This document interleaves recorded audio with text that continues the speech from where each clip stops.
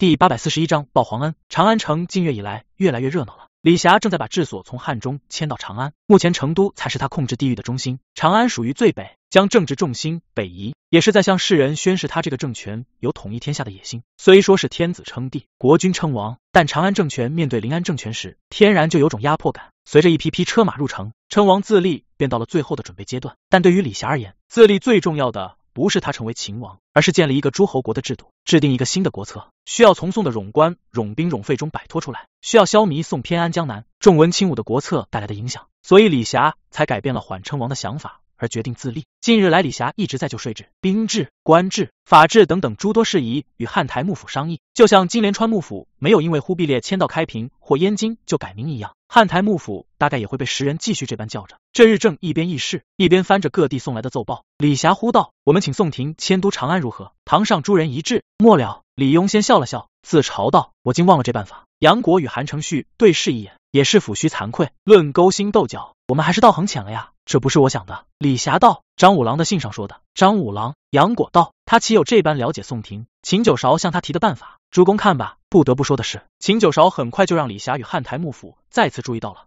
张弘道在信上也详细阐述了事情的来龙去脉。秦九韶作为俘虏，其实是没资格，也确实不知道李霞打算自立之事，但知道蒙军退兵了，哪怕只有这么一个情报，秦九韶却敏锐的感觉到李霞该再更进一步了。其实比起直接宣布自立，请大宋皇帝迁都长安，才是政治上更成熟的做法。首先是名正言顺，长安属于三京之一，而临安只是行在。如今李霞挡住了蒙军对长安的攻势，请天子北还，这是大义，天子也应该北还。当然，赵齐是绝对不可能答应迁都的。朝臣们已经把李霞视作董卓、曹操之流，怎可能再把汉献帝送到他手中？那不管他们找什么借口，李霞再说阻塞义理。就占据了民意，这时再自立，方能叫江南士绅无话可说。大宋文臣党争的厉害便体现在这里。除了秦九韶，李霞麾下没有旁人有这种心眼。杨果、韩家父子是北人，不算太了解宋廷。李庸知官至主簿，吴则太过年轻。史俊这些人则不会为李霞在与宋廷斗争中出谋划策。不过这也只是锦上添花，只涉及造反时是否更体面的问题，实力才是关键。但诸人想起了。秦九韶眼下既是用人之际，显然是要将他召来重用的。正说着，吴泽步入堂中，与李霞禀报见陆秀夫的情形。军师兄说，想要当面再劝一劝王上。他在哪？就在外面。从长安钟楼上望去，能看到位于城中心偏西北方向的府署的隐隐一角。府署会是之后的秦王府。李霞没想过要修建新的王府，也不打算扩建，只打算换块牌匾，再绕到钟楼南面。只见城门处人来人往，百姓根本不在意朝堂与。藩镇的勾心斗角，只管认真的活。李霞看了一会，问道：“你不是想劝我不要造反吗？怎么不说了？”见到杰帅，觉得不该劝。杰帅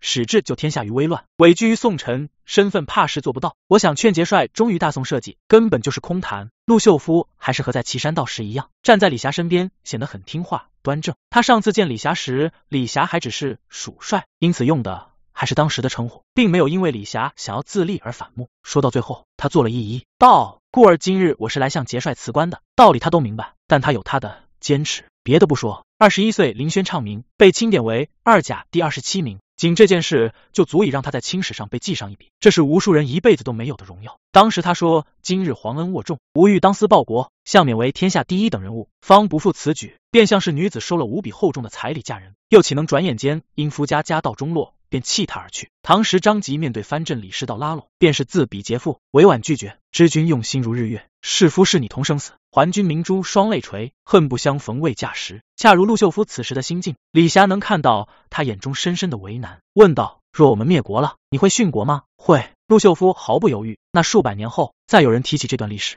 骂我们是废物，懦夫，至少得有几个。名字能让我们拿出来告诉别人，我们有骨气。从这点言，我若不能成功救亡，那所做的一切都不如你的气节有意义。李霞一生只追求成功，在他眼里，失败了就是毫无意义。这或许是错的，但他就是这样。我理解你，你可以成大宋最后的尊严，但我更希望我们能协力开创一个强盛的国。陆秀夫道：“没有我，杰帅也能做到。有些人骨头软，有些人意志脆弱。我们行事顺的时候，他们很快便投靠过来。这种人。”我是要用，但一遇到逆境，他们要么怕了，要么心态马上就崩了。我靠不住他们，要成事，只能靠意志坚定、百折不挠之人。李霞没有许诺封赏。说到这里，又道：“我缺你这样的人，需要你留下帮我。”陆秀夫犹豫了，他转头眺望着长安城，想到收复长安时未能亲眼目睹，若有朝一日能收复开封，岂能错过这笔金榜题名？还要让人相助。但已受了金榜题名的皇恩握重，最后陆秀夫还是深深一意道：“此身已许大宋社稷，也好，不强求。多谢杰帅，你帮我带封奏折回临安，我欲迎官家迁都长安。官家若应允，一个月内昭告天下，是天下人收复中原之决心，我可答应你，再不反宋，是左大宋忠心。”陆秀夫一愣，脱口出道：“真的？你为大宋争取到的？你说深重皇恩，此行足以报答赵家天子了。”这日，陆秀夫捧着一封公文出了长安，不由又喜又悲。喜的是，终于在不可能之中挣得了保大宋宗社的一线渺茫生机；悲的是，他明知官家不可能答应，但必须全力一试。万一做成了呢？江船顺汉水，长江而下，陆秀夫几乎是以最快的速度赶赴临安，一刻也顾不得歇，便求见了恩师江万里。江万里见到陆秀夫，先是叹息一声，他本去信陆秀夫，希望能控制利州到剑门关局势，却没想到。人已经回临安了。在看过李霞的奏折之后，江万里良久无言，叹息连连，有些无奈的连夜召官员商议。有人喜不自胜：今我大宋疆域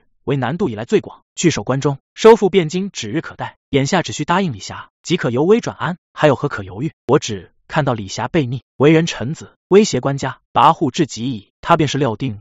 我等不敢让官家迁都，那我们便迁都，逼他骑虎难下。他有何骑虎难下？不过口头与军师一句承诺，假的。军师，你如何看？陆秀夫道：我信杰帅的人品，他虽是不信官家敢迁都，但若官家敢迁，或许能打动。没用的。众人纷纷摇头。他允诺有何用？关中有多少北人，怎可能安全让官家抵长安？李霞说，空口白牙一句，根本做不得算。官家若昭告天下，反而不能再反悔，威名扫地。故而说不必搭理他。诸位，半壁江山啊！不值一搏吗？我们想召李霞，还朝，何不赶到长安镇压他？可能吗？别理他，他想害官家，万一呢？但凡有理智的官员都认为不必理会李霞，唯有个别心思简单的年轻官员认为值得一试，让陆秀夫面成天子。陆秀夫等整整七日，终于能随江万里进宫启禀官家。这日已是五月初八，离李霞说好的一月之期仅剩两日，但满朝似乎所有人都像是忘了这事。这也是新帝登基以来。陆秀夫初次面圣，他听说过许多关于新帝的传闻，做好了心理准备，但当真看到赵齐进殿里，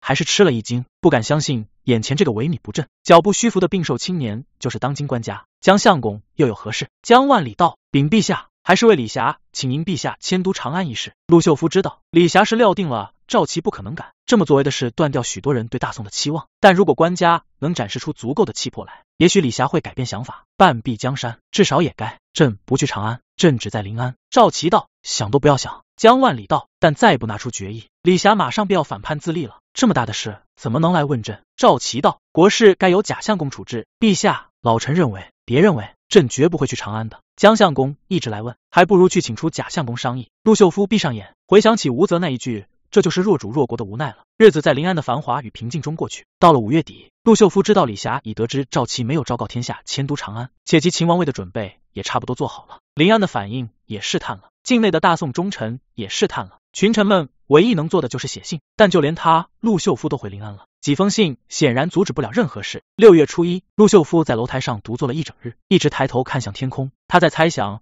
远在长安的李霞。应该正在继秦王位了，那最快也要半个月后，临安才能得到消息。至于现在，很多人还能抱着侥幸心想，李霞也许没有这么做，不知大典该什么模样，想必很简朴简单。错过了呀！第八百四十二章秦王。六月初一，天还未亮，李霞就被推醒过来，睁开眼看去，主屋里烛光摇曳，她的几个漂亮的妻妾们正捧着她今日要穿的冕服，聚在那叽叽喳喳。对他们而言，李霞自封秦王这件事最大的乐趣就在于需要裁制几身新衣服了。这当然不是简单之事。诸侯冠冕如何设计材质，依哪朝规范，会怎样章文，样样都有的说道。为李霞制了王服之后，还有他们自己的礼服需要裁制。这阵子以来，他们忙得不亦乐乎。用韩巧的话说，就是一年多没裁新衣服了。难得要裁这么漂亮华贵的，当然开心。官人快起来吧，今日还有的忙。紧着冕服便要穿戴许久。见李霞睁开眼。高明月温温柔柔道了一句，马上让人捧了水盆来给他洗漱。几时了？丑时三刻。李霞是在丑时一刻才歇下的，本该梦醒再开始次日的即位大典，却没想到才刚入睡便被推醒。这显然比成亲还要繁琐的多，看样子是要准备一整夜。夫妻还想再说会话，有婢子跑上来道：“王妃，世子不肯换礼服，我过去吧。”王妃，胡总管说车驾寅时就到，他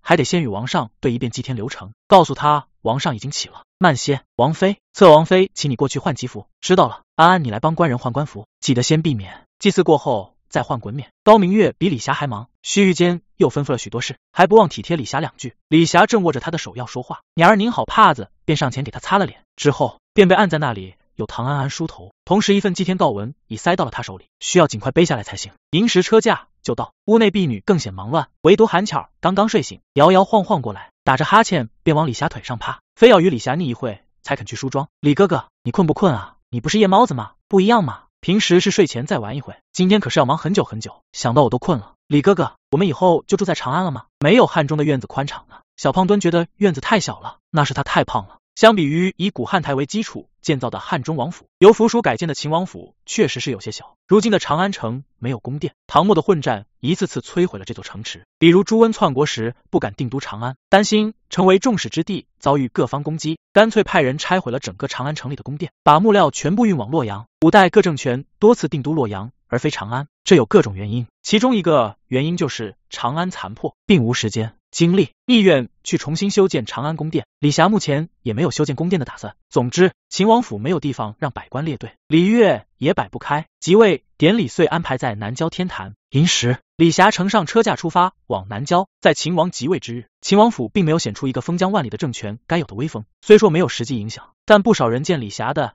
一驾如此寒碜，也会觉得他自封为王，就像是小孩子过家家一般可笑，没有该有的排场。秦王显然很难给予人足够的信心，但等到车驾缓缓驶到南郊，渐渐没人再感觉到寒碜。长安南郊天坛始建于隋，是隋唐三百年皇家祭天之处。圆丘高二十四尺，十二面有台阶。此时天还未亮，圆丘东南正在烤牛犊，西南悬天灯，烟云飘渺，火光摇晃。坛下文武官员已列成列，排成整齐的队伍，往外则是一列列的兵马。夜色中不知有多少人。祭天的各项准备早已做好，边磬、边钟、钹钟，六十多件乐器排列整齐。黑暗的夜，火光映着无数人的身影，却少有人开口说话，这构成了一股奇怪而神秘的气氛，庄重而且肃穆。祭天的时辰在日出前七刻。咚，随着一声钟响，礼乐响起，秦王祭天，这是一场繁琐的礼仪。人说国之大事，在祀与戎。李霞以前不明白为什么祀是大事，他向来不喜欢迷信，但在这乱世，他渐渐明白了，这时候的人祭天祭祖。祭的是心中的敬畏与信仰，祭祀与其说是为了迷信，不如说是为了定义我们。以同样的礼，祭同一个天，祭同一个祖先，才能让这些在乱世飘零的每一个人找到归属。他通过这个肃穆的仪式，让身后所有人知道，礼仪之大还在，华章之美还在，华夏还在，国还在。为咸定四年，岁次癸亥，秦王李霞景以至呈告山川神灵，概念祖宗艰难造造之地，及基于胡虏之祸，子孙立足之无所。今极重用武，兼比贼寇。复刻无土，织成天序，四守秦邦，为扶苍天，又无邦家，功臣生薄，仅用祭稿。上祥，上祥。太阳缓缓从东边升起，照亮了长安郊外。围绕着祭坛的是数不清的人，每个人都有些诚惶诚恐，但当他们的声音合在一起，又显得壮阔。老迈的韩承旭站在文官之首，他头戴冠泽，身穿着崭新的朝服，这是他初次披重臣朝服，就已是秦王之国相。李霞即秦王位之后，马上便要下诏封官。韩承旭本以为自己会在任相之时情难自控，却没想到才开始祭天，他就心绪起伏，不能自已。之前李霞总说缓称王，也不喜华章典乐这样的典礼，其实很少。好不容易来这一遭，于韩承旭而言，包含了太多意义。金王三十年间，如孤魂野鬼，他都不知自己是谁，与宋人格格不入，与蒙人格格不入。唯在今日，与他一起祭天的数万人，以及秦王治下数百万人，俱与他成了国人。站在武将队列中间的胡乐根，一直瞪大了眼望着袁秋。在他看来，祭天和祭长生天是一样的，而所有人能在一起祭祀，已是代表着都是自己人。这让胡乐根心中最后一点关于蒙古人、汉人之间的迷茫消失了。原本身为俘虏，置身于宋国，隐隐的总是有些不安。但现在他早早辅佐的秦王已经立国了，心里便有种这是自己的不足的感觉。他仿佛已能望到李霞称天可汗的一天。待到祭天结束之后，便是等秦王颁发各种诏令。胡乐根不由点起脚，期待的向天坛上望去。他知道自己要被册封为归德郎将，往后也是名正言顺的官僚。唯有一点不好，今日这列队该是按身高来排才好，可惜是按官位大小来排的。对。前面那大高个挡着什么都看不到。君帅荣将十国家之砥柱，不可泯其计而不加之。随着这道诏令传开，何泰听了好一会，终于听到了自己的名字：定远将军高年峰，宁远将军何泰，归德郎将胡乐根，昭武校尉张顺。何泰咧嘴一笑，他转头向后看了一眼，才发现后面站着个蒙古将军，竟和矮张一样高，这多少让何泰有点膈应，但不影响他的喜悦，继续向张顺抛了个眼神，示意晚间请张顺喝酒。对于他而言，今日秦王立国，一切就正式与以往。不同了。自秦王打出那十六字口号，便是公开否认了那狗屁男人归南，北人归北之大宋国策，从此再没有归正人一词。他何太与前面那位大理人，后面的矮张都同是国人。想到这里，他又看到身后那蒙人笑得很真挚，遂将他也算上。而南人归南，北人归北。还只是今日所改变的国策之一。随着封赏武将的诏令之后，下一道诏令便是开始改变宋崇文义武的风气，宣读军功勋赏制度，凡册勋十二转，授勋田，全选授官，一转五骑位，侍从七品，授田三十亩。何泰抬起头望去，听得很仔细。今日这一场秦王即位典礼。还是显得很简朴，但他已看到了一种新的气象。一道道诏令宣读过，从文武官员又传到更远处一个个士族的方阵。站在圆丘上的李霞终于完成了这持续了一整天的仪式。于他而言，真正忙的其实是两三个月来制定国策的过程，今日反倒只是个形式。华服、礼乐、祭祀、诏令，只是把结果告知众人。可当他站在这里，会发现。他很渺小，二十四尺祭坛之下，数万人排开，一眼望不到头。李霞站在这，只是把人们的愿望说出来，以此让他们凝聚。这个过程中，李霞反而觉得自己成了一个被人们注视的符号。他的情绪不重要，连他这个人都不重要。因这漫长的典礼而感到乏味、疲惫，他放下手中的诏令，心想这种无实际意义的事，往后还是少些为好。但秦王远远的传来了。呼声很快重叠在一起，排山倒海般涌过来。士族们、长安百姓们全都在竭力大喊着秦王。他们当中大多数人其实根本就不认得李霞。之所以如此激动，因为统一、安定、兴盛正是他们在这乱世中的愿望。平时他们不知如何表达，任战乱摧残，任虎辱欺凌，面对祖宗觉得羞愧，想要活得好一点。这些经历与憧憬不懂怎么说，不懂。怎么去做？当有人说出来，有人领他们去做；当情绪蔓延开，当有了希望，他们便情不自禁用尽全力去回应。由此，欢呼声响彻了长安城内外。秦王，秦王！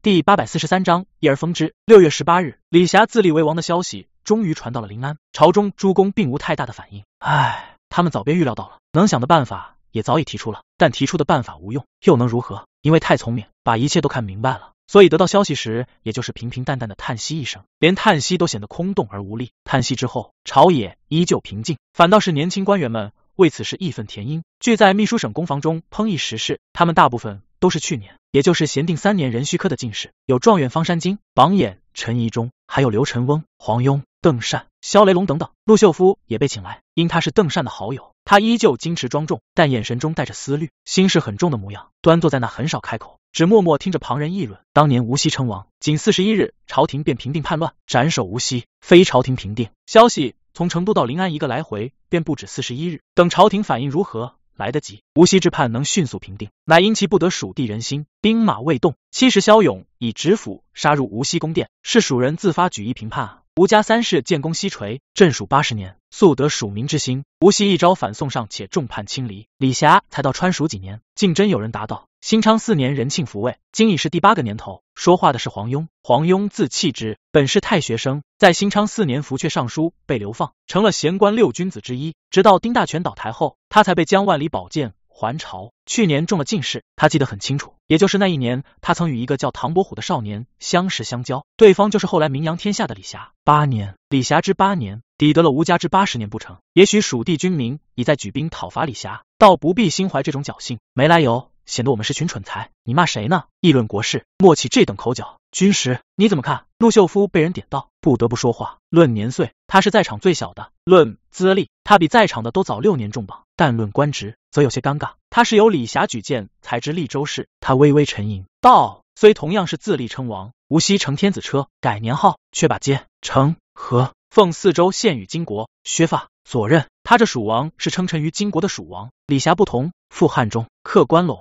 大理有并吞天下之志，暂时却未行天子一驾，未改年号，与朝廷保有余地，此其一也。有何余地？自立称王，已是公然叛乱。是啊，公然叛乱，若不剿，朝廷颜面何在？可看诸公反应，有发兵平叛之意乎？你们是说朝廷还能承认李霞这秦王？陆秀夫还在斟酌言辞，邓善已问道：君实是说，无锡是金国的蜀王，李霞勉强算是大宋之秦王。宋有过两位秦王。宋太祖的四弟四子死后被追封为秦王，至于活着的异姓秦王，且还是自封的。李霞不是请官家册封，问都不问便自立称王，如此公然造反，朝廷若还能舔着脸贴上去承认，体面何在？掩耳盗铃，自欺欺人，粉饰太平。若如此，这官我不当了，我随子高兄辞官。陈义忠捧着茶杯，撇着茶，淡淡瞥了众人一眼，摇了摇头，道：“国事艰难，往后要含屈受辱、相忍为国的事多了，这点气都撑不住，早些辞官也好。不错，我方才没说完。当年吴熙反叛之后，韩托胄不知所措，有人说不如趁势就封吴熙为王。韩托胄采纳了这提议，问题是如今忍了，往后拿叛贼如何？真就允他裂土分疆不成？诸公自有计较，有何计较？总不能等蒙鲁再度南下，我等坐山观虎斗，胡言乱语。萧显臣，你听听，你说的是甚鬼话？别吵了。邓善阻了旁人说话，道：军师，你继续说。李霞与吴锡还有何不同？陆秀夫道：吴锡自立之后，第一桩事便是在成都营建宫殿，同时派兵沿江而下，声称与金人加攻襄阳。其自立时间虽短，蜀地军民却已不堪其乱。反观李霞，攻节俭，俭徭赋，平物价。仓廪实，法令行，得蜀民之心，亦得关陇人心。公节俭，只这最简单的一条。嘘，后面的话不必说了。唉，听君师兄是何意吧？你们方才也说，无锡之叛非朝廷所平定，朝廷本欲一而封之，乃蜀地军民举义，诛杀叛逆。今李霞称王，一不兴战乱，二不见公事，精兵简政，轻徭薄赋，岂有军民心意？那朝廷只能是一而封之。陆秀夫说到这里。回想着这次前来临安的经历，心中长叹。其实早在两三个月前，当江才投奔李霞时，朝中诸公早已预料到这个结果，也早就知道最后只能顺势封李霞为秦王了。所以他陆秀夫回朝提议迁都长安，得到的只有那空泛的回应。越想越让人觉得无力可笑。忽然有人将官帽一摘，径直起身走了出去。宫房中诸人转头看着这一幕，良久无言。没事，他要辞官还得上表。一时气不过而已，这是上不上表的事吗？屈辱，这就屈辱了。诸君忘了靖康之耻了。又是一阵沉默。新科进士中竟有人骂了一句脏话。靖康之耻这四个字一出，所有人都有些无精打采起来。唉，披上这官袍前一腔热忱，是要忠心社稷。今日拿一叛逆，都无可奈何。黄谈靖康之耻，真废物也，没的意思。又几个官员这般说着，这次虽没摘官帽，却也径直走了出去。他们往后。大概也懒得再褒贬时政了，随他去吧，顾好自己才是实在。不一会儿，宫房里已没剩几人，随他们去罢。陈宜中道：“这等星星，便是考中进士，也不过是庸才。”黄庸随口道：“何必贬低同僚，倒显得你高人一等。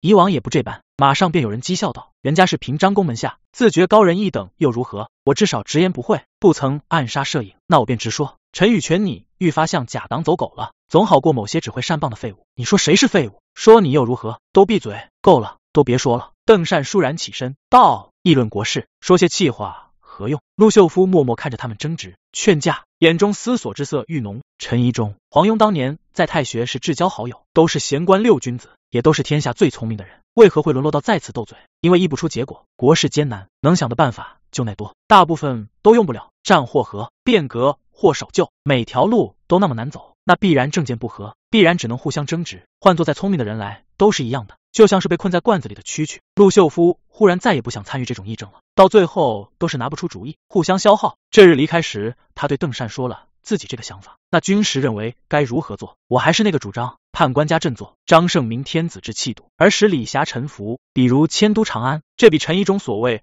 为求国而变通于贾似道门下还荒谬。满朝上下有几人理你？然而万一攻城，则国家之幸甚，万民之幸甚。邓善点点头，喟叹道：“话虽如此，那与其盼着官家使李霞臣服，不如不如什么？没什么。年轻的官员们这般褒贬着时事，而朝中重臣们对李霞称王之事虽反应平淡，对其后续影响却很重视。西湖畔的葛岭别院中，贾似道听幕僚们商议了一整日，正在做最后的总结。他们必然要顺势册封李密。谢太后那边这般说，我早便察觉出李密的野心，有意出兵平叛。正是他们勾结李霞，陷害于我。如今国事被这些庸才推到这种地步，如何对得起先帝？是平章公，不如顺势罢免几个江万里的学生，如何？哦，方山经测题中借题发挥，颠倒黑白，言公田之害。刘成翁廷试对策时称忠良故遭陷害，其气节无法撼动，似有影射平章公之意。陆秀夫此番归朝，称是因李逆叛乱而逃回，然似有陷陛下于逆贼之图谋，且其七卷有留于利州。贾似道不耐烦听人一个个报，挥了挥手。趁这次，通通罢免便是。这次必罢免了贾似道。在西湖畔的另一间别院中，几名老者也正在商议，该有把握。既要册封李霞，那便是认同李霞及王位时所用的理由。半片疆域的臣民都认为贾似道窃弄国柄，已有罢免他的名义。那便依李霞所言，彻查寻州一案，为吴吕斋平反，为吴吕斋平反，试设官家平反。好，既要处此权臣，便忤逆官家，又有何妨？此番借李霞称王之事，或可使贾似道党羽自危了。唉。谈到这里，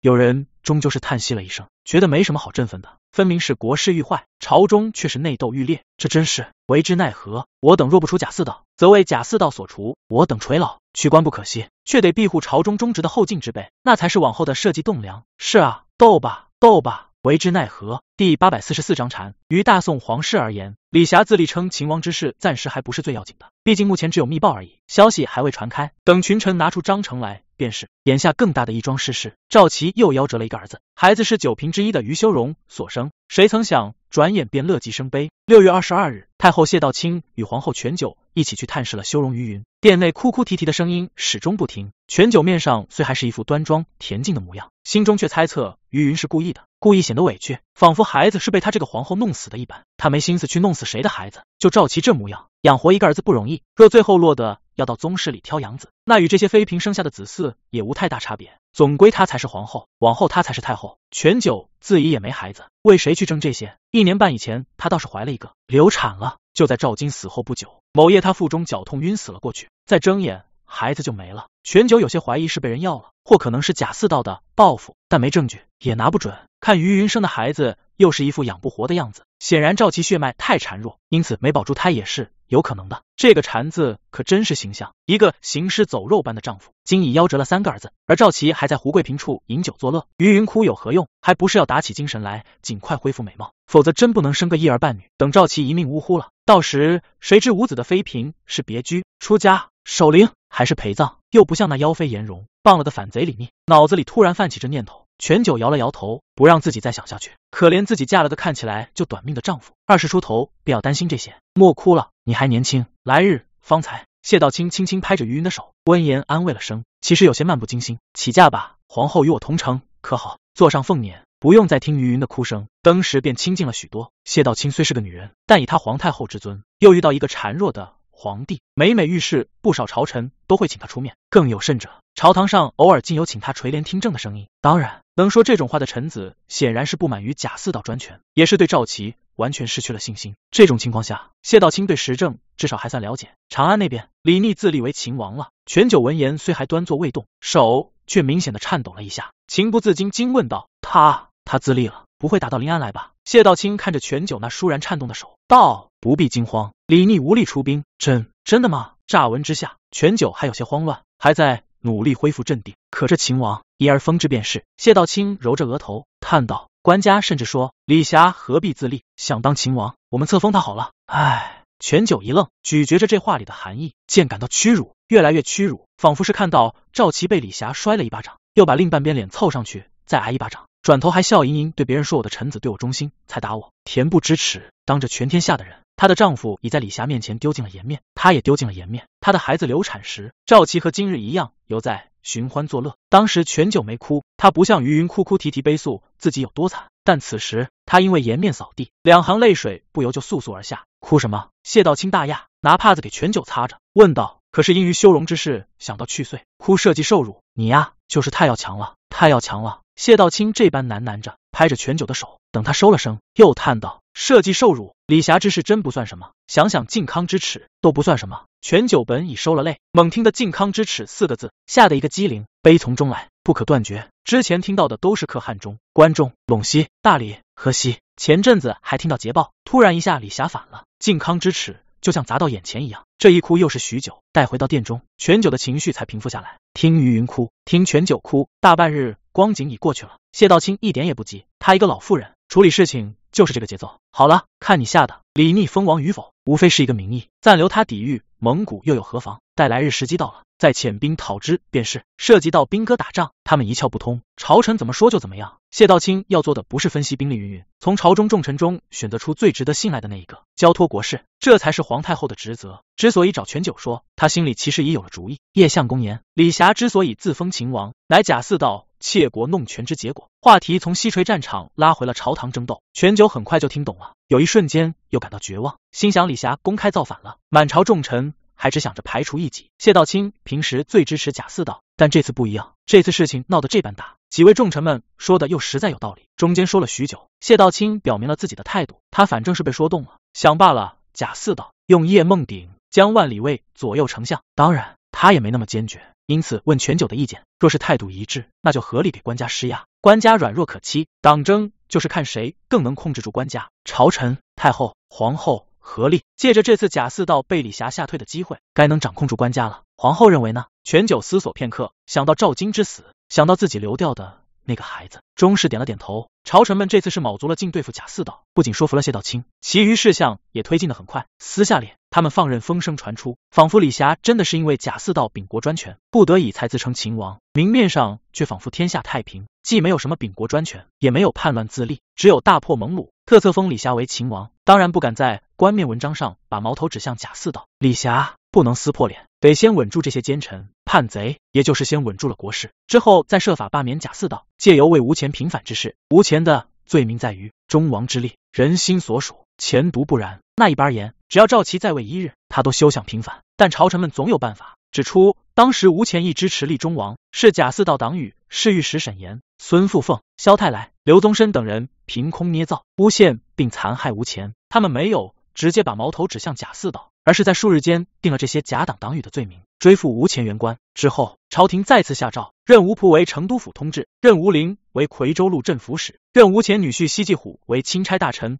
往关中管理农民田氏。如此一来，既顺着李霞的意思安抚住了这个叛贼，又显得朝廷还有权威，能派遣官员往秦王治下。贾似道也未反对，仿佛真是戴罪在家，实则是知道。只能向李霞妥协，由朝臣去受这些窝囊气，而朝臣们也趁势打压贾党党羽。这场争斗中，李霞自立，但名义上却还未完全脱离大宋。贾似道暂避锋芒，让别人去担责任，但也默许了势力打压。朝臣们开始对贾党反击，但也承担了来自李霞的压力。三方都在谋取利益，但也都有妥协。政治本就是在妥协中谋利，最可怕的反而是妥协不了，必须撕破脸的时候。在这个过程中，陆秀夫渐渐理清了。他挽救设计的思路，且得到了江万里的支持。学生以为不该只将李霞视为叛逆，大宋有岳武穆，本可收复中原，奈何失此不图，冤杀遂文，可谓亡国之祸源。今李霞有岳武穆之能，却惧不其后尘，朝廷安可再以叛逆视之？自毁长城，则宋必亡；望靖康之国耻，弃半壁江山，臣民而偏安一隅。恐功高之臣而论功行禄，忘卿之罪，任相之非，定都之失。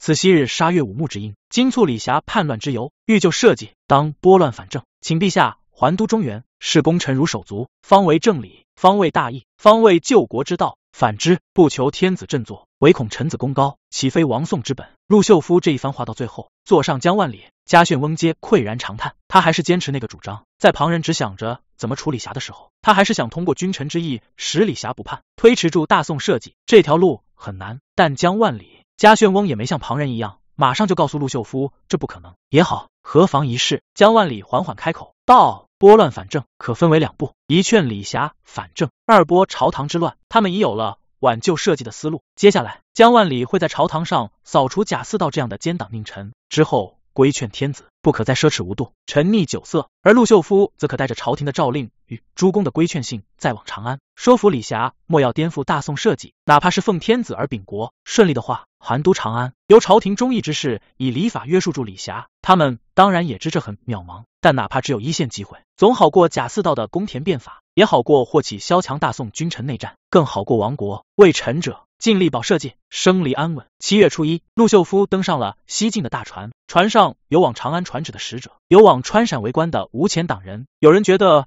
这艘船是大宋朝廷粉饰太平的遮羞布，也有人认为这是维持社稷安稳的最后努力。人各有志，对此的看法当然不同。邓善前来送陆秀夫，也带来了不少好消息。官家已同意罢免贾似道、拟叶相公为左相，老师为右相，盼老师能扫除朝中佞气，规劝官家励精图治。官家真答应了。国事到这一步，官家终于警醒振作了。陆秀夫不由欣喜，他对官家的要求不高，能每日上朝，勤于政事，能裁撤宫中用度，畅行节俭，能轻徭薄赋，爱养百姓，能与民休养。劝客农桑，能宽宏大度，优待功臣，只要做到这些，也就足够了。三十年战乱，百姓太需要休息了。当今官家不需要孝神宗皇帝变法，不需要公田法，只要不打仗，有叶梦鼎、江万里贤相在朝，有李霞戍边于外，让百姓好好休养几年，社稷至少也能喘一口气。告别了邓善，陆秀夫走上江船，看着大船扬帆，感到大宋又有了希望。他迫不及待想要去告诉李霞，天子能容秦王，那不需要打破重来，君臣相得，也可以保社稷江山安稳。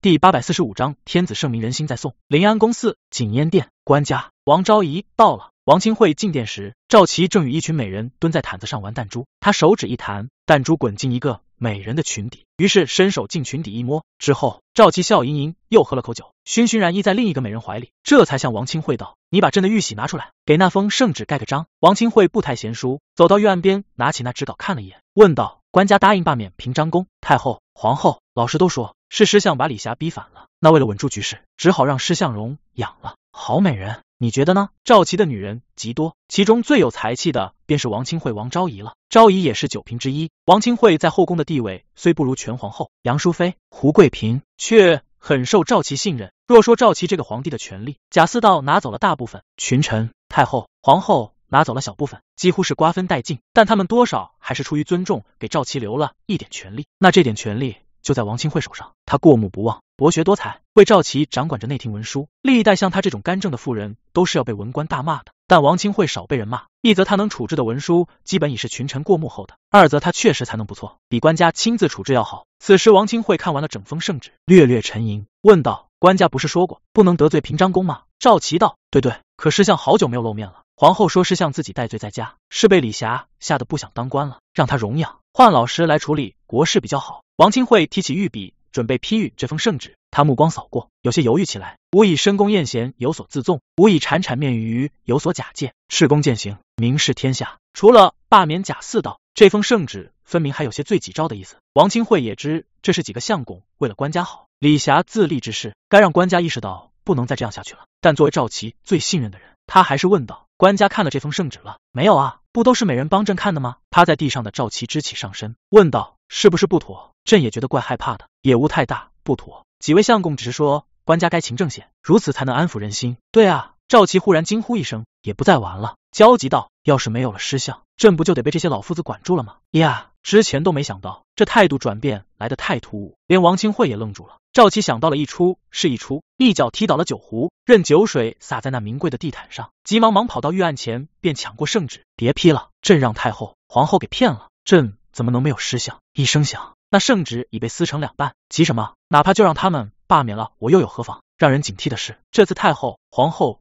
真的站到了那边，两个素来无主见的女人，理他们作甚？格岭别院中，贾似道早便知朝臣们已对他出手，他根本不急。李霞才自立为秦王，再让朝臣们去承担纵容叛逆的罪责，早晚是要清算的。至于被罢免，临安的文官到现在还不明白，他贾似道屹立于朝堂，靠的已不仅是圣眷了。而是从他随孟拱手金湖，到他捆帅金湖两淮，再到他鄂州之战重造大宋社稷这种种大功中立下的功劳，以及在军中建立的威望，除了他贾似道，还有谁能遏制吕家军这样的骄兵悍将？现在看起来像是他要被罢免了，实则是因为他自罪在家以来一直没出手过，给人造成了他无心党争的假象。他只是在暂避李霞锋芒。等李霞锐气过去再起复，来得及。这日正与翁应龙谈及此事，贾似道嘴里不及两个字才说完，那边龟鹤仆已匆匆跑来。阿郎，宫里来人了，请阿郎入宫。入宫作甚？贾似道笑道：时机未到，我又戴罪在家。官家说派人转告阿郎。龟鹤仆四下一看，压低了声音，有些神秘道：官家说求阿郎入宫见他，求阿郎莫再生气了。哈，我生什么气？官家还说那些人想罢免阿郎，他要把他们全罢免了。只希望阿郎能尽快回朝主政。贾似道也是惊讶，须臾摇了摇头，苦笑道：“既然如此，盛情难却啊！这大宋官家如此德性，岂还能指望规劝？唯有靠他贾似道代天子秉国，才可力挽狂澜于危难之际。江万里、嘉旋翁还在等着天子下诏，准备为大宋社稷拨乱反正。军师所言不错，天子若不振作，唯指望权臣藩臣救国，却又猜忌过甚，如何能不亡国？”前些年李霞屡破蒙虏，倒让朝中许多人愈发有了太平盛年的假象。一朝自立，该梦醒了。御史贾李之流不叛，不可仅寄望于他们没有野心，须得叫天下人觉得他们不该叛。故天子须行善政，善待百姓，百姓自能维护天子救亡之政理。只在贤明二字。嘉旋翁拍着膝，满脸期待。这次一切都很顺利。目前为止，贾似道根本还没有任何反应，只等贾似道这种放纵官家、以独揽朝政的奸佞滚蛋了。到时他便可好好的规劝官家了。终于赵玉下达了，壬戌科进士方山金、刘辰翁、邓善、黄庸谤议国事，夺官罢免。先是这一批批忠正敢言的官员被罢免，之后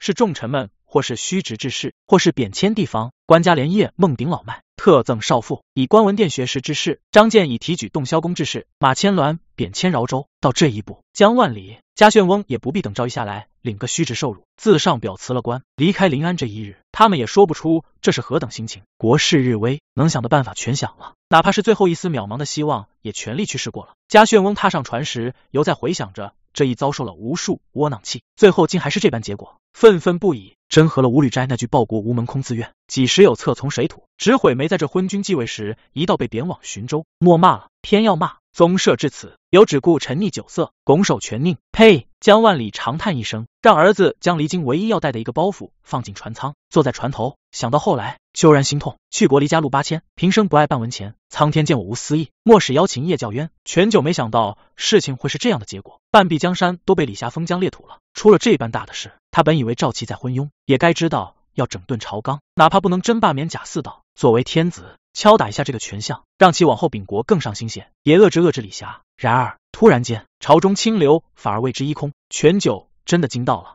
连他都看得出朝堂上的平衡都被完全打破了。这要是贾似道想篡位，都不知如何是好，怎能不惊不惧？全九得到消息的一瞬间，从背脊感到一阵凉意。他难得起驾景烟殿，想寻赵齐问个明白。往日他从不来景烟殿，这次也不知是抱着怎么样的期待，也许想看看他的皇帝丈夫到底还有没有一点理智。哈哈哈！一官家再饮一杯。满殿的娇呼声突然停下。皇皇后，圣人圣人。全九一派端庄的走进殿中，扫视了一圈。王昭仪、胡桂平、朱川、朱夏、朱端、朱门、周多、石瑞、周四、文瑞、陈怡儿、胡安化、沈贤宁、黄新平。满殿的美人风格各异，都退下。他已懒得去记他们的名字，轻喝一声，看向赵齐。赵齐吓了一跳，他一向有些害怕。这个皇后连忙拉住王清惠，陛下，全九强忍着情绪问道：“陛下罢免诸公，可是因他们册封李霞，失了朝廷颜面。若是如此，确实理应处置这些臣子。这便是他想问的。赵齐是否还有这个理智？至少是为了社稷体面。然而，只见赵齐道：不，不是啊，那是为何？赵齐理所当然道：他们想管着朕啊，当然是师相最好。师相要给朕再修一间宫殿，安置美人。说罢。偷偷睥睨了全九一眼，又迅速收回去，意思是你也别想管着朕。全九闭上眼，缓了缓，又问道：“但李逆叛了，若是他攻到临安，甚至蒙人攻来，又如何应对？”贾平章话说的漂亮，回门之败却没拦住李密，不是吗？这问题太复杂了。赵齐一拉王清惠，小声嘟哝道：“你和皇后说，石像是怎么说的？告诉皇后。”王清惠连忙万福道：“禀圣人，贾平章言，周瑜赤壁之举。”笑谈而成，西安淝水之师，指挥而定。全九不等他说完，转身就走。只听身后赵齐以小声吩咐道：“快把美人们再召回来。”这句话入耳，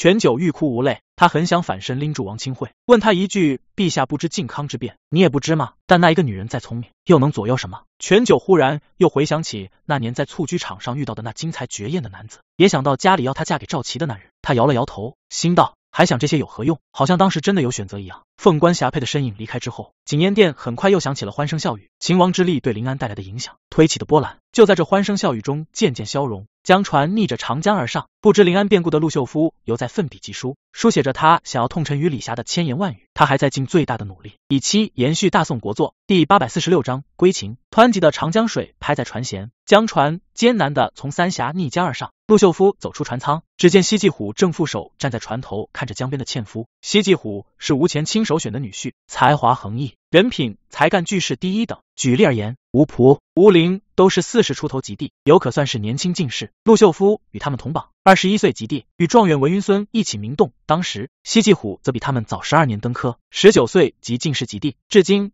他已在官场沉浮整整十九年了，今年才堪堪三十八岁，却已有足够的魔力。正当鼎盛之年，他本该是大宋栋梁，本能成为在青史上留下浓墨重彩一笔的名臣，但因忠王之力，先帝下诏无前党人永不录用。西季虎的仕途遂蒙上一层阴影。只要赵齐在位，贾似道秉国，他便不可能得到重用。显而易见，这样的人到了川陕。很容易便会投身于助李霞争天下的大业，且很快便要成为中流砥柱。而这些无钱党人公然归秦王，又是向天下文士宣告事关能有新的选择。这次从临安西向的一路上，陆秀夫很喜欢同西季虎聊天。若连西季虎的想法都不能了解，又如何说动李霞继续忠于大宋？众威兄在看什么？江水无情，三峡不知多少血泪。西季虎指向江边像蚂蚁一样的纤夫们，难怪这边有句话：既与名利图，莫做远行客。三峡两岸险峻，纤夫光着膀子，艰难的走在锋利的岩石间。因江水太急，他们身子弯的双手都快触到地上。在七月炎热的天气中，累得挥汗如雨，走得却很慢，走十步就要退九步，纤夫艰苦。江船其实也很危险，江中巨浪拍着礁石，涛声如雷，端的是乱石穿空，惊涛拍岸，卷起千堆雪。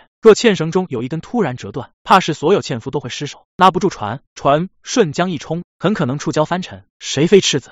我辈入蜀为官，蔑视斯人至此，如何忍心？当了官，若躲在临安城里，未曾亲眼看看百姓有多苦，怕是不知头上的官帽有多重。西季虎有感而发道：“盘剥这些人辛苦挣出的一点血汗钱，又如何忍心？”陆秀夫默然，心里不由在想：若是真能规劝官家迁都长安，这一路山水迢迢，可否让官家看到民生疾苦？还是说？会写百官、后宫、护卫、大摆一架，用度奢侈，惊扰地方，反而又成了一场百姓浩劫。一念至此，陆秀夫竟有些茫然。西季虎问道：“军师又晕船了？此番是我第二次乘船入川，没想到还是这般孱弱。”陆秀夫确实头痛的厉害，浑身都不舒服。往返于长安与临安之间，本就是极辛苦的事，甚至路途上很多地方，比如这三峡险滩，都是拿命在冒险行路，值得吗？什么？你少年登科，天之骄子。本可在江南享福，或留在长安，也能得秦王器重，何必宁愿奔波万里，风霜烈日，犹不忘每日劝我忠贞于赵氏天子，值吗？陆秀夫没想到同行大半个月，西季虎说话愈发大逆不道了。刚从临安出发时，还能以宋臣自居，这才刚刚到川蜀，开口却称官家赵氏了。你我深受君恩，忠君报国，不是理所应当吗？西季虎默然片刻，随口唱起了几句歌谣：大蜈蚣，小蜈蚣。尽是人间夜毒虫，银元般富有百足。若是飞天能食龙，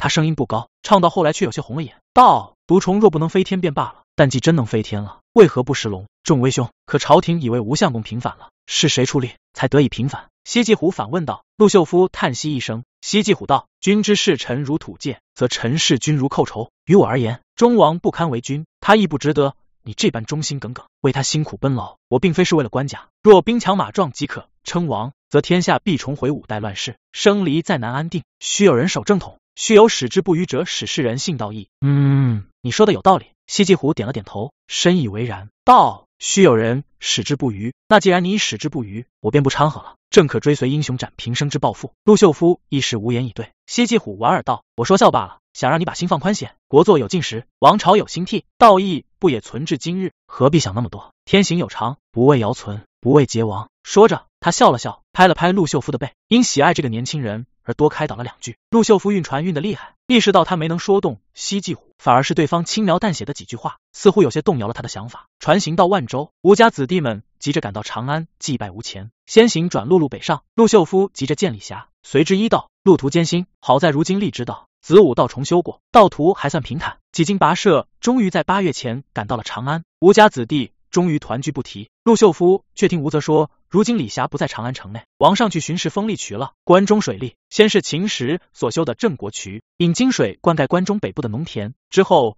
历代完善其水利。汉代时修白宫渠，唐时修三白渠，正是这些水利，使原本贫瘠的关中一度变得富庶，历在衣食京师、亿万之口。宋成平之时，修了丰利渠，代灌金阳至富平七县田地三万五千余顷。八月初三，富平县郊外，吴泽领着临安来的官员们到丰利渠边见李霞。西季虎望着远处的牧民，问道：“关中似乎有不少胡人？不错，金国与蒙古留下的胡人，剃发左任的汉人，以及俘虏、行商。关中的风物与江南大不相同矣。”吴泽道：“姑父再看那边，那些牧民都是沙陀人。秦王在这边马。”渠边那位便是，隔得虽远，西季虎一眼便找到如鹤立鸡群的李霞，果然是绝世之英雄人物。那当然，秦王明锐，文武双全。陆秀夫听着他们说话，感到这种英武之主所带来的自信、生机勃勃的气氛，与临安真是完全不同。然而，西季虎策马行进，却是吃了一惊。只见李霞穿的窄袖戎装，正带着一群人在围观一头公牛与一头母牛行蹲轮之事。这是在做什么？培育黄牛，改良品种。其实江南养牛很厉害。西季虎对此也略知一二，很快便指点着说起来。待李霞与吴家子弟说过话，陆秀夫才单独与李霞详谈。朝廷已册封秦王之爵位，可见官家与诸公对秦王有包容之心。说了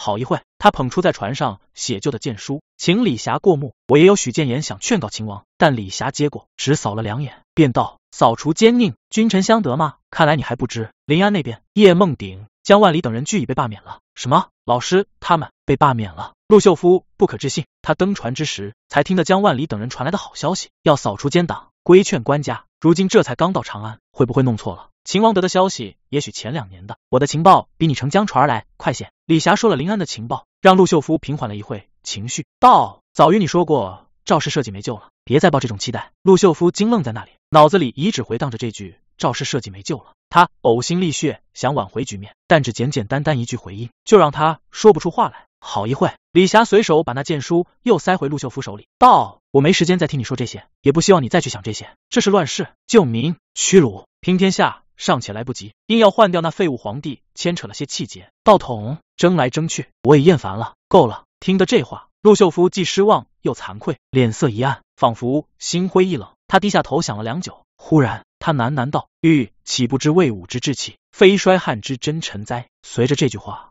他的颓气开始消散，他终究要比别的年轻人坚强得多，很快已在自我调整。良以于时王道继威，横流以急，雄豪虎视，人怀一心，不有拨乱之姿，仗顺之略，则汉室之王呼诸前手之类田矣。陆秀夫的声音很轻，像是在默背着什么。李霞不太听得清，也不太听得懂，问道：“你说什么？”而陆秀夫默念着，缓缓抬起头，脸上还挂着些苦意，眼神还有些迷茫，但渐渐恢复了坚定。极短的。时间内，他竟已调整好了情绪。我想明白了，秦王说的不错，沧海横流，生灵涂炭，怎可只顾赵氏宗庙？说着，陆秀夫拿起手中的剑书，撕开，将它成两半，之后撕成碎片，随手一抛，抛进河渠里。他长长吐了一口气，让过去的过去，心里反而轻松了下来。今日归秦，唯愿左亲王驱胡尘，匡四海，救天下百姓。好，军师能回来，我很高兴。称王之事早便过去了，不必再理会朝廷那点争斗。来看看我们新筑的礼。第八百四十七章农牧。某公牛已被人牵走，随同来巡视的官员却还在对他指指点点，议论不停。这头牛倒真是雄健，鼻径方圆，肩峰高大，西镇牛，好牛重。那头母牛则是金湖的水牛。王上说，是试用杂交之法，以改良畜种，提高畜产。谢继虎对此颇感兴趣，很快便参与进这话题。你们帮牲畜是情？咦，你这江南来的官员也懂放牧？谢继虎道：当然懂，连北方胡杨，我们江南人也能占养。只说临安有个牛羊司，立下有供应所、乳酪院等，负责祭祀与公演享宴的牲畜，旗下占养牛羊，每一存栏出羊三万余口，每年宫中享宴，食羊十万口。哦，江南畜牧如此厉害，人群中竟还有一蒙古人站出来，操着汉语道：“我不信，宋国养牛羊还能养得过我们草原人。”西季虎道：“浙东。”福建系出产牛去处，我家乡祭神，一次杀牛数千头，占养牲畜，疫病怎么办？李霞重新回来时，听到的便是这般的谈论。听西季虎说来，宋朝的象畜饲养、品种改良和繁育、兽医技术等等都十分成熟。江南大量占养禽畜，还有一套完备的防瘟疫的机构，如药密库、牧养上下监、医马院等。西季虎随口提及畜病治疗的书籍便有四十余种。其实宋的农牧业非常发达，甚至南渡前的一些农具书籍。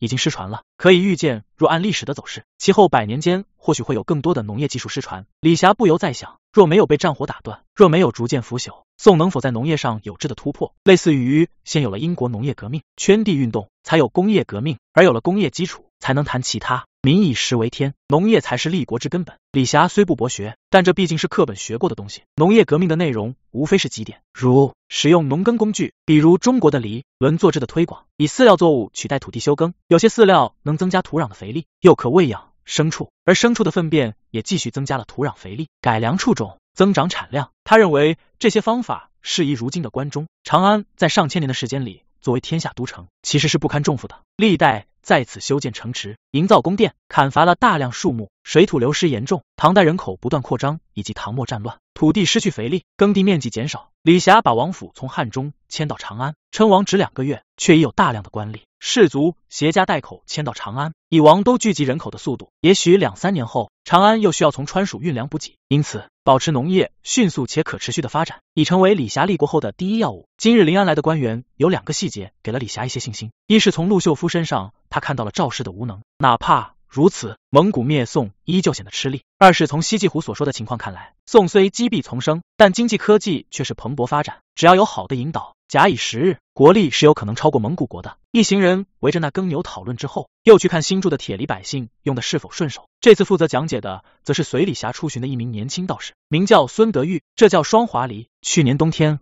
我们才造出一批，与一般的木耙犁不同在何处呢？陆秀夫道，他多了两个轮子。对，但可不止。孙德玉一指，仰了仰头，颇为得意的介绍起来：此犁乃我根据屈原理所造，形如池，长六尺不止。我增加了犁平，深耕也可，浅耕也可，犁必如此。若将土翻到一旁，减轻了前进十之阻力，且能翻覆土块，以断绝杂草。然而一般的屈原犁重，需要大气力，我便加了这两个轮子。哦，你们莫小看了我的改进。首先，我改用铁圆，省去犁剑，使犁身简化，而却不影响耕地，更坚固耐用。由此二轮便是没有耕牛。一人也可拉动。孙德玉说着，招过附近一些农夫，道：“你们来说说，这里可好用？好用哩。要是有牛，不用这轮也行。呃，用了这铁犁，犁出来的沟垄又直又深哩。”孙德玉大喜，环目一看，见陆秀夫对这东西感兴趣，又道：“来，你来套上试试，往那边犁一犁。就这东西，看起来简单，可不是一般的冶铁匠人能造出来的。他这话倒是不假，铁犁与木犁看起来只是材质不一样，但对锻造的要求。”却是划时代的，尤其是要做到量产极难。如今这铁犁造出来，也只在汉中、长安周围几个地方适用。事实上，更多乡野里的农夫连木质农具都无，犹在面朝黄土一锄头一锄头啊。李霞才不听孙德玉吹嘘，而是招过富平知县以及乡中老夫仔细问了了解。之前一人能耕几亩地，换了铁犁之后又能耕几亩，他需要让人将这些切实的数都记下来。在商议是否推广，而今日随他出巡，伴在他身边做记录的是秦九韶。秦九韶看起来一副嫣嫣然的模样，仿佛认为自己是被大材小用了，但他才干确实是了得，漫不经心的记录着。待到李霞问了，算都不用算。李霞想知道的，张口即来。一户人家改用新犁。能多耕几亩地，增产几何？一县之地又增产几何？再核算农具造价。两句话已把所费所得推算清楚。李霞听过，方才招过孙德玉，问他能否量产农具，好修养从全真教抢来的弟子当中。孙德玉既听话又聪明，两年以来一直以一种既来之则安之的豁达态度做事领俸禄，脸都圆了不少。当然可以，王上只要说了，小道自然要认真办妥。但还有那么多武器盔甲要打造，铁矿也不够，人手也不够，还有。尤其是煤也不够，一抱怨起来，孙德玉有些没完没了。他并不害怕李霞，是以一种领多少钱做多少事的态度在说话。大半年都没有再运煤回来了，当然是炼不了铁了。如今搬到长安来，连树也不让砍。要让小道来说，比起汉中、长安，真是光秃秃的，实在是没什么好的。知道了，无非仗打完了，又可以与某些蒙古世侯走私些煤炭回来了。治理一国，凡要做点什么事，往往都是千丝万缕。那边陆秀夫试着拉了双华犁，他在前面拉，西季虎。则在后面扶。等到李霞完成了这日的巡视，两人连小半亩地都没耕完，却已累得大汗淋漓。农人们把他们迎回田边，陪笑道：“相公们尊贵，哪是做这些粗活的？”陆秀夫擦着脸上的汗，大口喘着气，脸上终于又有了笑意。临安一行，他攒在心中的灰心，无奈就在这大汗淋漓里挥散了。西季虎则是问道：“我们翻的地还行吗？”老农们只是傻笑挠头，又道：“相公们哪是做这些粗活的？”随行的官员们也全都笑起来。其实他们当中会有许多人觉得。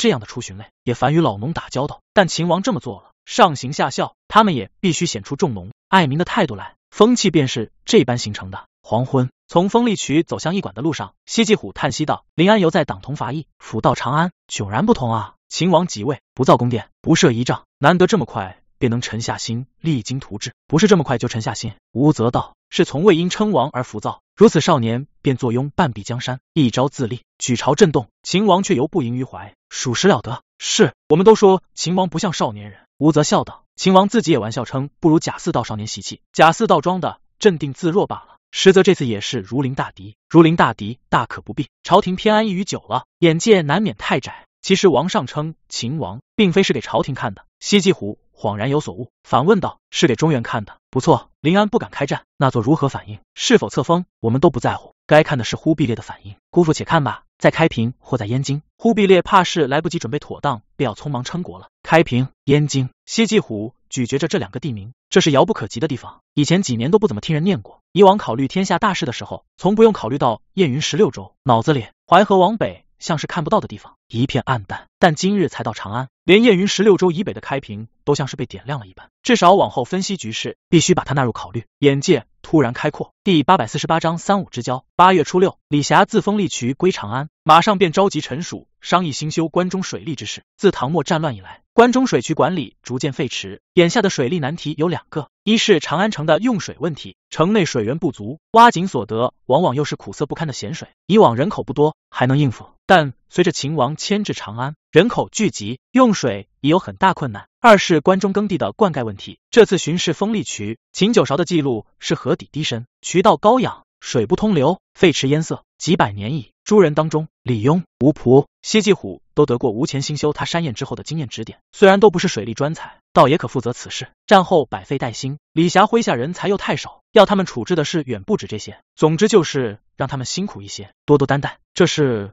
肯定不是一天两天能商议出结果的，需要考虑到各渠道的引水、分水、输水整个体系以及长安城的规划。孙德玉也参与了这商议，因开凿河渠所需的火药以及各种器械，需由他负责督造供给。与会时也不知打了多少个哈欠，好不容易李霞结束了这场议事，孙德玉才得以散牙还家，从永宁门出了长安城，乘马车往南行两里地到小雁塔。又往西南方向行了十余里，才抵达唐城墙的遗址，足见唐长安之大。前方是一大片庙宇，马车行到近处，却见上面的牌匾分明是“格物院”三个大字，字迹疏朗飘逸，出自大家之手。时近黄昏，进了格物院，里面是一派繁忙景象，因是不久前才从汉中调了一批人到长安分院，此时院子还堆满了装着书籍、图纸、材料、样品的箱子，来来往往的人们在整理，人员也是形形色色，道士、和尚、文人，老的、女的。残疾的进格物院做事，基本只有读书识字这一个要求。孙德玉一进门便负起双手，微昂着头，摆出些架势了，才往里踱步。院长回来了，院长没有人换，孙德玉都含笑点头应着，最后自己没忍住得意，完全笑开了。他本就长得一张娃娃脸，白白净净的，这一笑更显得孩子气。但路过的众人都还是院长换个不停。院长回来了，这趟辛苦吧？虽然是有些辛苦，这么热的天。我都晒黑了，孙德玉笑道：“可我不就这点嘴皮子的能耐了吗？大家伙把事情办好，我来为大家伙向秦王讨赏。相比于他那些木讷的师叔师兄们，孙德玉或许不是最会炼火药的那个，但他最会与人来往。因此，格物院但凡有什么事，多半是由他主持的。格物院之前最主要做的。”无非是依照李霞给的原理研制出各种军事、医疗的武器或工具，多是配合军队。这次随李霞走了一趟，孙德玉便知道以后格物院还要配合分管农业的官员们研制并想办法大量制作出农具，提高关中的产粮。用李霞的话说，要尽快促进农业、牧业的发展，以推动建立工业、军工业的基础。云云，这种奇怪的话。孙德玉偏偏很能领会，这也是他年纪轻轻就能脱颖而出的原因。回到格物院，他也能准确的传达给别人。在秦王府议事时，他昏昏欲睡，可回了自己的地盘，他却能笑嘻嘻的把事情交代清楚。秦王又给我们派了更多的活。好了，今日便说到这里。王都刚一到长安，诸事繁杂，还请尽力忙过这一阵。大家到溧阳酒吃炒菜，从堂上出来，孙德玉终于可以回屋歇着。好嘞，他往铺上一趴，道。也不知郝老道何时才来长安，这许多事由全交给我打点，累死我了。与孙德玉同住的是他的师兄于德臣，才进屋便把被孙德玉踢乱的蒲团重新摆好。郝老道暂时不来长安，他打算到吐蕃再与佛教辩论一次。信在这里，你自己看吧。咦，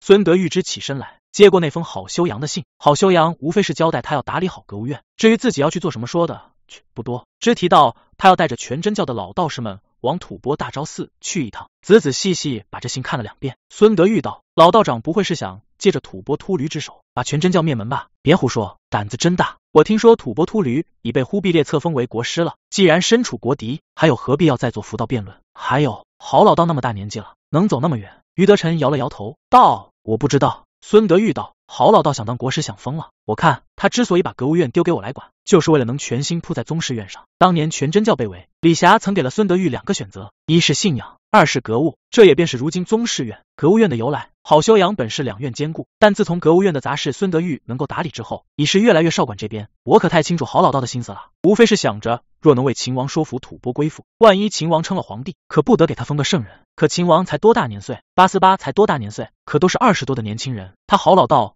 哪能陪他们继续合纵连横这天下大事？那么老了还上到吐蕃高山上去？孙德玉说到这里，大摇其头，他重新趴回榻上，又道：换作是我这般天资，或许是能做成，但也太累了吧？深入敌国也太危险了，还是在这格物院玩玩小物件比较好。于德臣坐在那打坐，也不应话，任由孙德玉在那嘀嘀咕咕。到最后，孙德玉道：师兄到底有没有在听？真是好生无趣。有在听。对了，他说等你随驾回来了，一道句句。谁？嗯。昭成兄，次日傍晚，长安城西李昭成府中，你们尝尝我这道烂蒸羊羔。看着几盘炒菜被端上来，孙德玉便眼睛发亮，下注如飞，不忘嘟囔道：“李大郎这厨艺果真了得，还是请小道士吃饭有趣。”小道士，人家都叫我院长，真就任院长了。旁人不知好老道，你还不知吗？他哪还肯管这摊子事，我就只好接手管了。也是，老道长一心想要去吐蕃，我与父亲苦劝他许久，还是没拦住。李昭成对此颇有些忧虑。以前李昭成就喜欢去找好修养，这两年依然是时常去格物院走动。旁人觉他是李霞的兄长，来往时避嫌巴结，敬而远之都有。如孙德玉这般能与他自在相处的，其实不多。因此，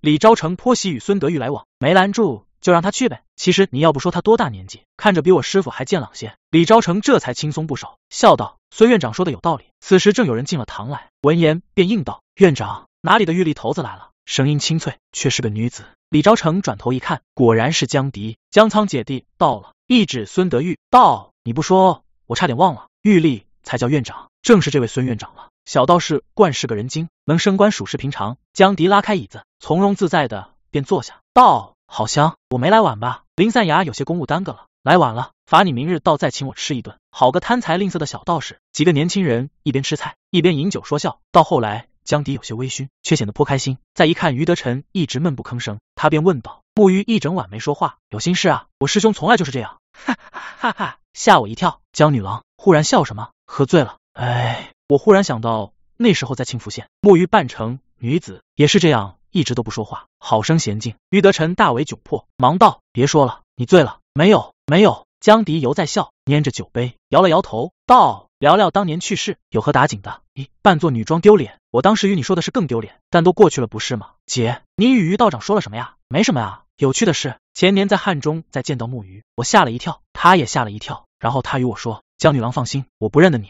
嗯，不好笑吗？他叫我名字，又说不认得我，不好笑啊？好吧。”我就觉得木鱼虽然是个杀手，但心肠很好。师兄那是把杀手的脸都丢尽了。但是木鱼是有什么心事吧？师兄，你有吗？于德臣终于点点头，道：“我就是觉得我待在格物院没什么用。”怎么会？孙德玉讶道：“要是没有师兄，我们怎么能占下城郊那个荒废的寺庙？哪有现在的长安格物院？别说了，昭成兄和江女郎都是当官的。再说下去，我要被捉起来。”噗嗤，江迪不由好笑道。难得听于道长说句风趣话，我说真的，我脑子木讷，唯独有些身手。那师兄，你可去当个捕快，万年县正好在招捕快，哈，正好与孙院长这个玉立搭班子。不过话说回来，我早便觉得师兄道心又不见，老想着娶媳妇，就适合还俗当个捕快。李昭成问道：“你们说真的？我去问问有无缺额。”其实林司使也想让我过去做事，军情司那是最危险的衙门吧？孙德玉大摇其头道：“我们格物院多好。”莫莉他就是江仓道，连我都想去格物院。读书吧，你木鱼，你也莫听他们说，终究是你自己拿主意。是，我在考虑。师兄没什么好考虑的，我们格物院那么多机密，也需要身手好的人保护呀。江仓忽然道：“我想起来了，当年姐你与于道长说了什么？我可猜到了，猜到就猜到，有甚打紧的？脸皮真厚。”江迪笑了笑，随手举了举杯，与旁人敬了，自饮了一口。她已经不再是只会模仿李霞的那个少女，她已有了属于她自己的气质，也不觉得如今这样有失大家闺秀的体统。这夜，当着几个好友。酒到酣时，江迪还说了番心里话。我这般不漂亮的女子，若受父母之命嫁了人，足可想见的会是书无意趣的日子。所幸十四岁那年，我遇到秦王，他虽未与我有男女之情，却教我活得自在。如今我能施展才干，有三五知己，多好！说得好。李昭成道，江女郎之风采，非寻常闺秀可比。堂上气氛正好，江仓却偏要给他们拆台。道，咦，想起来了，有一次父亲还起义，让姐姐嫁给李大郎君。李昭成一杯未饮尽，呛了一下。哈，李大郎君更想娶两房妻室。孙德玉声音愈低，好吧，连我也就不了场，正有点尴尬。江迪已举杯道：“既已成过往，敬当年一杯。”李昭成想到那年在叙州，苦笑，举杯敬当年，敬如今开明风气，敬人敬其用，勿敬其才，敬敬我读书有成，前程似锦。下次再聚，走了，明日还要公务，莫叫人知道我又下厨了。第八百四十九章知其人。次日，江迪早早醒来，想到昨夜酒后的言语，不由懊恼自己疏狂。好在，就算出丑，也是在至交好友面前，没丢脸到外面去。他换了官服，向衙门赶去。江府就在长安钟楼以东的案板巷，再往东不远有家石记泡馍，再往北有家胡记臊子面。面馆前数十步便是秦王府，因秦王府太小。周围的一大片房屋已被买下来作为官械，偶有一两户人家不愿卖屋的，倒也无所谓。比如文报局与大司农司之间，便隔着一户人家，已在此间住了上百年了。住的是个老员外，每日在门中支张凳子，与官员们说他祖上在唐时当过官。江迪。如今在摩勘院任公考郎中，做的是审计各州县户口、两税等事，他算是位高权重了。若依宋廷官制，摩勘院往上便是三司，三司主官只亚于宰相，称计相。一女子在这个年纪任官到这地步，其实历代义军中就有很多，但李霞若能成事，那就很厉害了。如今在秦王治下为官的，基本都能算是原从，彼此都很熟悉。上衙时少了些肃穆，多了些亲切。江郎中来了，听说令尊要调回长安任知府了，是吗？我都未曾听说过。一路打着招呼，才进摩勘院，却见严云云正领着一名五十多岁的小官过来。说是小官，因他穿的一身绿色的官服，但其人风采气度不凡，官威比他爹江春都大得多。给你麾下派一属官，秦九韶到摩勘院任主簿。严云云随手引荐道。这位是公考郎中江迪，你暂随他做事。见过江郎中，秦九韶意行礼，江迪便感到有些棘手。一个年纪、名望、才干都远胜他的下属被调过来，其实是官场上最麻烦的事。他连忙应道：“不敢担。久闻秦公大名，往后多多指教。江郎中唤我的字道谷即可。”秦九韶抚着长须，眼神里分明还带着倨傲，偏又不得不笑，又道：“一定任凭驱使。”他当然很不高兴，觉得屈才，哪怕谦逊一点，他也能自称一句千古高才。在宋廷被贬，那确实是得罪了太多人，还能接受。李霞算什么？一个反贼，且正是用人之际，烧高香才能碰上他这么一个大才，居然先是打发到成都为营建之事出力，好不容易建言献策，被调到李霞身边，鞍前马后随同巡视地方大半月作为考验，居然只封了个最小的官，但也唯有谦逊谨慎些，才能再得重用，否则回成都继续出力不成。老布以筋骨为能，严云云之所以亲自送秦九韶上任，其实是看中了他的才干，想着往后把他调回来。只是李霞认为这人的脾性还需要磨一磨，调到一个年纪轻轻小女子手下，算得上是折辱，好打一打秦九韶的傲气。另一方面，反过来也是对江迪以及摩勘院官员们的培养。大清早安排完此事，严云云遂往秦王府见李霞。李霞每日还是早早起来锻炼，之后在大堂上处理公务。幕府近臣若有事商议，只要过去即可。若类比临安，他这有些像是更随意而高效的小朝会。严云云与官德禀报一声，过了一会便被领上堂。堂上正在商议的也不是什么密事，是西季虎正在提议以考试选拔人才。如此，王上足可与临安昏君争世人之心。李霞如今其实还缺大量的官员，选拔人才。既可以收买天下人心，也可将地方上的官员汰换成心腹。这事本就是李霞想做的，难题在于如何实施。遂让西季虎去拟个详细章程，接下来谈的依旧是关中的水利所需的预算。诸人已大概估算了一遍，最后由李野呈上了一封公文。李霞看过之后，招颜云云上前问道：“你看看，我们有这份财力吗？若是征七县百姓的徭役，一年内勉强能凑得出。征徭役自然是不付工钱的。虽说兴修水利是造福于关中百姓，但李霞。”还是摇了摇头，道：“我们与百姓说好的不征徭役，不可出尔反尔。”说罢，他转向李野，问道：“晋斋公以为我们可到了能发行纸钞之时？以目前李霞施政的经验来看，他认为相比于直接征底层农夫的徭役，不如发行纸钞，再雇佣劳工，一则以工代赈，可招揽安置更多的流民；二则。”还可推进纸钞的发行，二则税收不至于马上摊派在贫苦人家头上。发行钱钞，相当先向有购买力的人户隐性收税。问题在于眼下的时机是否适合？李野头也不抬，白了李霞一眼，端坐在那沉思着。容老夫想一想，你好祥哲再启禀王上吧，这不是小事。相比而言，不得不说忽必烈的中统交钞十分了得。只看那无比充足的准备银，李霞眼下就远远不能与之相比。一桩桩事务就这般处理着，进展并不快。要摆到这里来谈的。本就属于较大的难题，需要商议、调查、筹备。待旁人都退下去之后，严云云上前递了他备好的单子，道：“与山西走私的钱与货已经备好了，放着吧，我安排人去一趟。”这日傍晚，一辆马车绕过长安钟楼，向西行到城隍庙后面的小巷，径直进了一间没挂牌匾的深宅大院。院中戒备森严，现在去北面的哪有当年我随秦王北上时那般冒险？如今都只是传些信。林子随口闲聊着，抬了抬手。请王饶下马车。王饶一只脚才落地，目光一瞥，瞥见阁楼上有人抬着弩，对着这里，微微一礼，道：“林史司过谦了。都说军情司是最危险的衙门，不知哪些猢狲传的，近来好手都不好招了。”哈，林史司这是想要敷衍我不成？没有。林子略略思忖，斟酌之后，还是与王饶透了些口风，道：“说实话，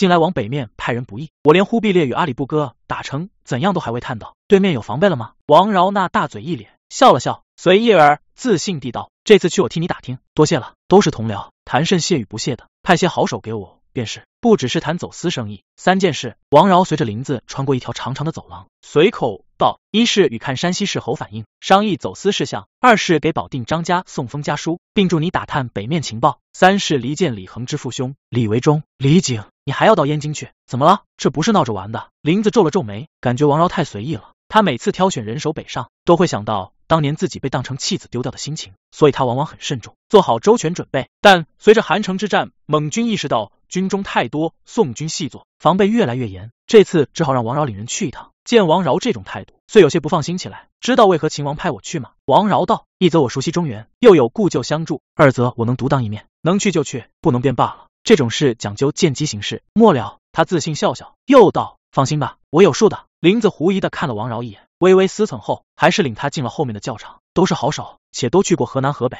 会说北方口音，其中甚至有人在中原还有故旧。你选人，感到凌厉的杀气扑面而来。王饶满意地点点头。马眼，河北藁城人，随董文用在金斗关被俘的，一身武艺了得。马眼，你说句话给他听听。借人的嘴可真大。王饶摆了摆手，示意马眼不用说了，上下打量了一眼，道：倒是条好汉，我能信得过你吗？你为何愿意帮我们做事？嫩爱信不信？好，好。赵燕多慷慨悲歌之事，你是条爽快汉子。王饶又看向另一个年轻人，道：“一看这虎口生茧，便可知是高手。尊姓大名？于德臣，在北面有故旧。有燕京长春宫掌教成明真人，赤城崇祯观洞明真人，都是我的师伯。蒙古国赐我的道牒还在身上。”王饶又问道：“为何效力于军情司？我怎知你不是为了去投靠他们，假意随我北上？我朋友们都在为秦王做事，我闲着也是闲着，所以呢，所以。”我没想着投靠蒙古。王饶点点头，走开了。他私下却对林子道：“你手下人脑子如此之笨，无怪乎探不到情报。”两日后，李霞亲自送王饶北上。他如今起了事，不像以往那样需要依靠大量的间谍工作才能弥补实力的差距。相反，他反而要减少使用一些刺杀手段，以减少不光彩的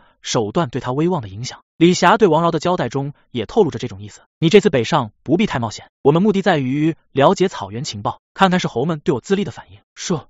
我杀了杨大渊，有人信，但必有人不信。正在暗中窥测局面，给他们一个与我们打交道的机会。走私的一部分原因就是为了这个。王上放心，我明白该怎么做。趁着忽必烈败退，王上自立的机会，拉拢一批北地人心。不错，太原的好天意已回去一阵时间了，代我向他问好。听了这话，王饶咧嘴一笑，像是要把郝天意一口吞下。今年初的战事结束后，李霞就开始与忽必烈争夺北地人心，在延安的交手打了个不相上下。但这场争夺并没有停止，李霞称王。就是为了加上一个筹码，然后继续争夺。以往他是被前往北方的人，如今则是遣人北上了。第八百五十章联访四，李霞相送王饶之地，正是长安东城外的灞桥。灞桥作为关中八景之一，风景自是好的，筑堤五里，栽柳万株。它又名秦晋桥，因长安送别往往到此为止。所谓从来只有秦南晋，何事名为秦晋桥？自此改名为折柳，任他离恨一条条。灞桥烟柳。离别之情当然很有韵味，但对李霞而言没有必要。他与王饶没有这份交情，王饶就是个普通的下属，只是因为要去做的事很重要，才需要他亲自相送。反而是李昭成也特意赶来送行，让李霞有些不解。我都不知道你和王饶关系这么好。李昭成摇了摇头道：“我和王饶不熟，那来送谁的？于道士知道他们去哪吗？不知。他大概是不愿我们担心，或是行踪要保密，只与我们说是随大人物外出巡视。但最大的人物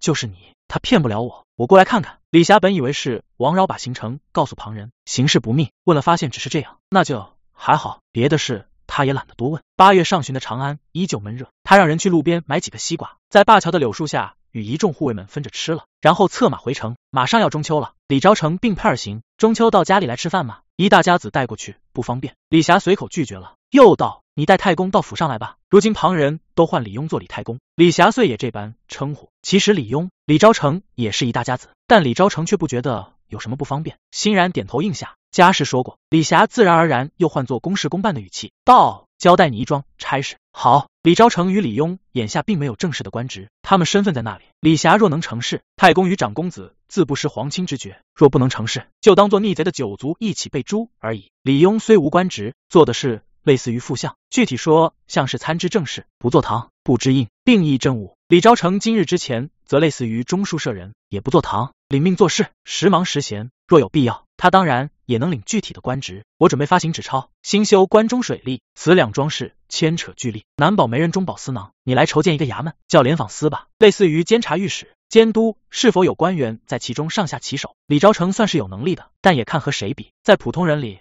他是佼佼者。与陆秀夫、西季虎、秦九韶这种可怖的天才相比，就显得有些平庸了。此事李霞与陆秀夫也说过，陆秀夫当即应了，回去便拟了一个折子，反而能把整件事给李霞说透。而李昭成则需要李霞仔细说清楚此事，你与陆秀夫合力来办，具体的事务他会处理，由你为主官，意在表明，不论是谁敢伸手，林查都有处置之权。另外，于情司、摩勘院可配合你们调查。审计，同时互相监督。若做个类比，李霞想要的这个机构，有些许类似于宋的御史台。说到御史台，唐代御史官员分为台官、员官，台官监察官员，员官劝谏皇帝。到了宋时，台员便合并了，只能监察官员，不能再管皇帝。为了让皇帝安稳，挑动臣僚相斗，又规定监察官员若百日无所弹劾，须撤职罚放。这也是宋廷内斗日益激烈的因素之一。所谓政稳于庭，日削已亡。如今李侠义设置监察，对这点十分慎重。之所以暂时叫联访司，则是希望少一点互相弹劾内斗，先把关注点放在这个联字上。明白了，我与军事接洽，拟定了章程之后报给你。嗯，尽快吧。这种时候不能靠人自觉，监督制度先完善起来。也许设了联访司，发现一个贪官污吏都没有，那是不可能的。李霞根本没有这种天真幻想。道严格监察才是对官员们的保护，太过信任反而会给他们伸手的机会，那才是害了他们。是李昭成有些害怕李霞的严肃，他也只有二十五岁，虽努力想拿出当兄长的沉稳，心里却感觉到李霞才是他的兄长与王上。两人一路进了长安城，到了关谢区域，李霞自回了秦王府，李昭成则顺道先去与江迪说一声于德臣之事。我去送过他了，他没骗我们。于小道士说不用担心便是。真的吗？江迪问道。秦王派何人出巡？连你都不知道？他桌案上堆满了文书，很忙的样子。机密。李昭成随口便敷衍了。正要走，又想起一事，道：你如今随秦道谷做事？不是。江迪搁下笔，招了招手，低声道：他是我下属，镇得住吗？你说呢？当然不行，头疼。我年幼时在嘉兴便听过他的大名，当时他在湖州写著《述书九章》，受官家召见。我也是，我才随父亲到叙州，就听说他的大名。江迪以手抚额道：在他同川路府墓一兵抗蒙，就是我父亲也要直立相见。你说我怎么当这上差？给你透个口风。朱公的意思是，他这人贪财奢侈，以权谋私，但一直是坚定的主战派，著书传世，抗击胡虏，曾有功于国。这次若能改过，还得再给他一个机会。你要是说这些，我更觉得难办了。走了，还忙。李昭成出了大堂，又到隔壁的工房看了一眼，不由心想：若真设了联防使，这便是要着重注意的官员之一了。他回过头，用眼神向江迪示意了一下。江迪微有些疑惑，再次搁下笔，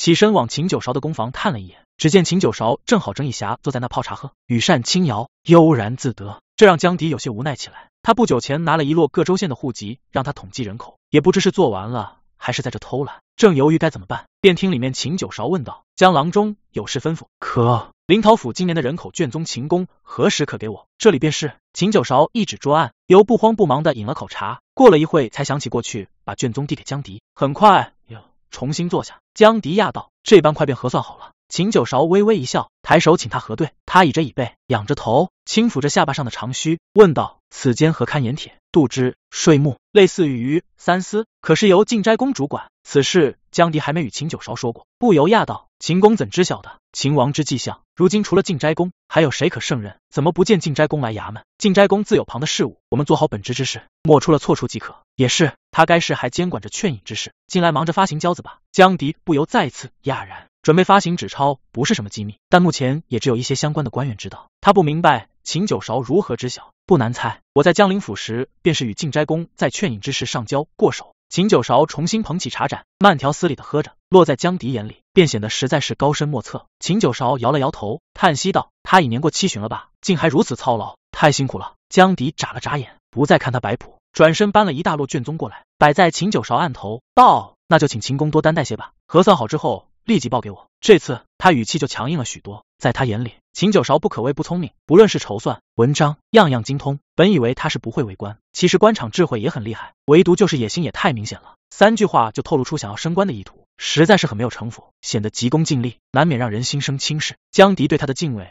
也就少了许多，怪不得这人官声不好，到处树敌。他最新功名利禄，真是毫不掩饰。中秋前在与朋友相聚，谈到秦九韶，江迪不免如此评价了一句：“你这般一说。”我倒是觉得他不是人品不堪，而是人品不错呀。孙德玉反而有不同看法，笑吟吟道：“旁人贪的悄悄摸摸，道貌岸然，唯独他贪的明明白白，瞧不起人还直说，可以说是道法自然吗？”李昭成不由苦笑摇头道：“明也好，暗也罢，贪便是贪了。盘剥百姓高血，用度无算，在江南我管不了他，但往后再敢伸手，唯有绳之以法。”孙德玉与江迪纷纷笑起来，连房使还未上任，已有好大的官威。李昭成表情凝重了些，道：“我看接下来我们在公务上还有许多交集，事先说好，私是私，公是公，能有什么交集？”江迪笑道：“你个小道士便是个贪财的，这次关中修渠，打通大小龙山的火药，便是由你督造。若让我审出账目有误，一定报给联防使，拿你下狱。不错，这位阁务院院长也需我们联防司着重关注。”这小院里说说笑笑，李昭成却没发现。他的两房妻子已将他时不时偷偷下厨招待朋友之事报给李庸知晓。李庸站在窗边听了一会，终是摇了摇头走开，